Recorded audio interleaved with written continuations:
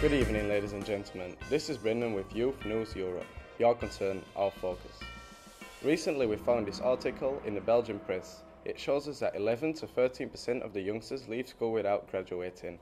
To find out why this is happening, we went out onto the street with another inquiry. We asked random people three questions. Since this is about school, we think it's a very interesting subject and we are eager to share our findings with you. The first question we asked was How long do you have to go to school according to the law? Let us begin by giving you the correct answer. In Belgium, we have to go to school until the year you become 18. When we look at the answers given, we see a distinct difference between the answers of the youngsters and those of the adults. Looking at the charts, you'll notice that 71% of the adults think that 18 is the correct answer, whereas 54% of the youngsters agree almost a quarter of the youngsters believe it's 16. They might be confused because in Belgium you can start partly education from the age of 15 or 16. This means that the student goes to school for two days, works for three days, and however, even if they are in partly education, the pupils will not graduate until they are 18. The next question was What is the percentage of pupils who graduate from secondary school? This is hard to say. The differences between the regions in Belgium are too big.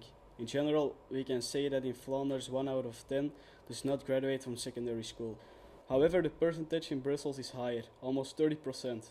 According to our findings, we can state that most people have quite a negative image concerning to this topic.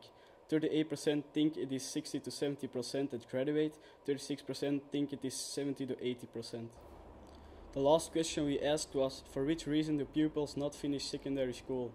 The option they could choose from were school history of the parents, general lack of interest, social and ethnic background, or other options. Almost half of the interviewed people said that lack of interest is the main reason why youngsters do not finish school. Another quarter thinks it has to do with social and ethnic background. The actual reasons why youngsters do not finish school are very much alike. It is often said that a lot of young people lose their interest and motivation to go to school. The school system thus faces many challenges to keep young people interested and motivated till the end. My name is Levi. This was Youth News Europe brought to you by ESL Zenit and we thank you for watching. Your concern, our focus.